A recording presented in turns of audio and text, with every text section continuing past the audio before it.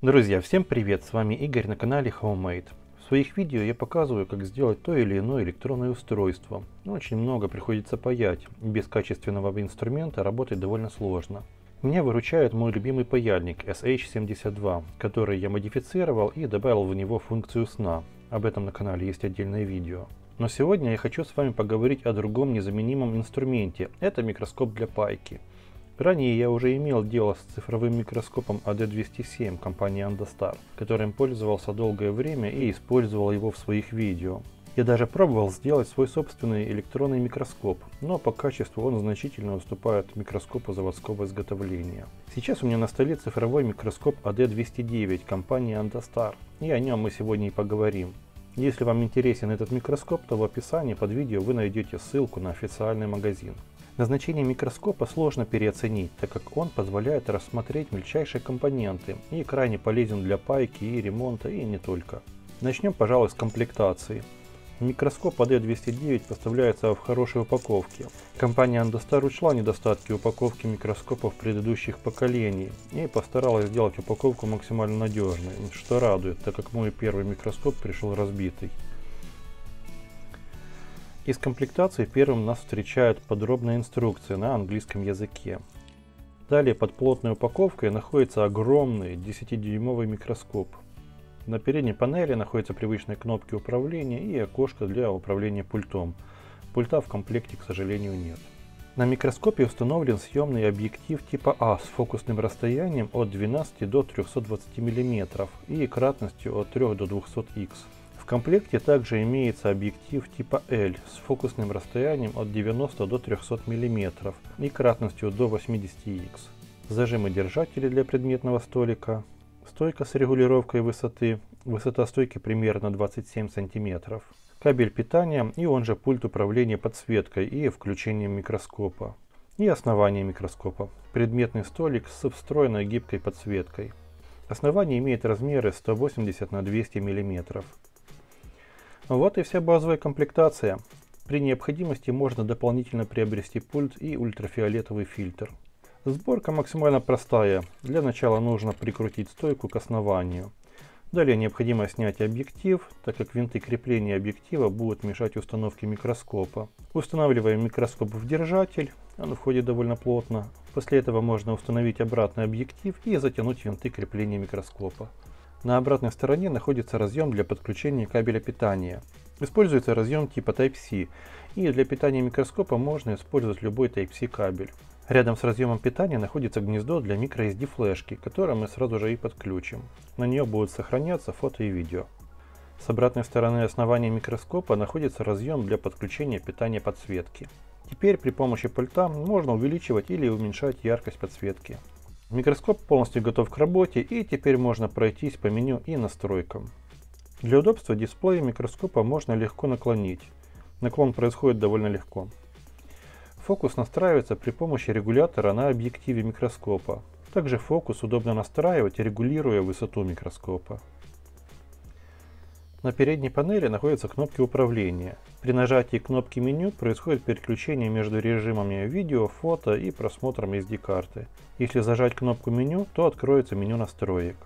В настройках видео первый пункт это разрешение записи. Установить цикл записи. Это максимальная продолжительность записи видео для циклической перезаписи от 1 до 5 минут. Далее можно настроить экспозицию и добавить текущую дату и время на видео. При повторном нажатии на кнопку меню можно перейти в настройки самого микроскопа. Здесь можно установить дату и время, можно установить язык, русский язык поддерживается, частота обновления дисплея, формат, это стирание карты памяти, сброс до заводских настроек и можно посмотреть версию прошивки микроскопа. При повторном нажатии на кнопку меню произойдет выход на главный экран. Если переключиться в режим фотографии и в этом режиме зайти в меню, то откроется меню настроек для фото. В разделе разрешения можно увидеть поддерживаемое разрешение, но нужно помнить, что в микроскопе установлена матрица всего на 2 мегапикселя. Можно снимать последовательность, далее качество изображения, резкость, баланс белого, ISO, экспозиция, стабилизация, предпросмотр отснятых снимков и добавление даты и времени на фото. Начнем с теста максимального приближения. В кадре сейчас компонент типа размера 0,8-0,5. Расстояние от объектива до печатной платы составляет примерно 2 см. Максимальная высота, на какую может подняться микроскоп, составляет 23 см, что реально очень много. Ну а теперь пришло время к реальным тестам в работе. Как вы видите, при быстром движении есть небольшие волны, но быстро двигать рассматриваемый объект все равно никто не будет, поэтому на этот недостаток можно не обращать внимания. Задержки в изображении нет, э, картинка быстро реагирует.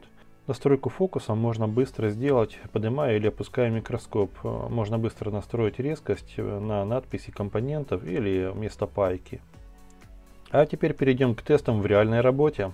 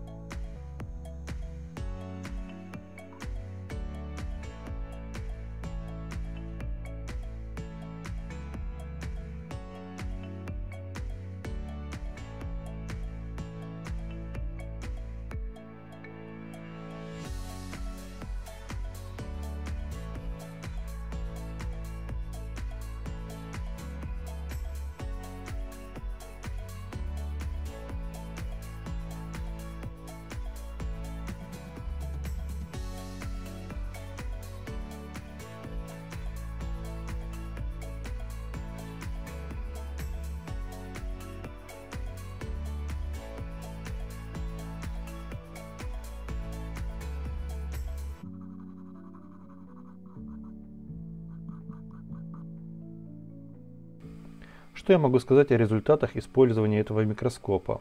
Первое, что впечатляет, это невероятно огромный дисплей, на котором легко рассмотреть любой компонент. Второй важной особенностью этого микроскопа является очень большое фокусное расстояние, что дает много пространства для работы.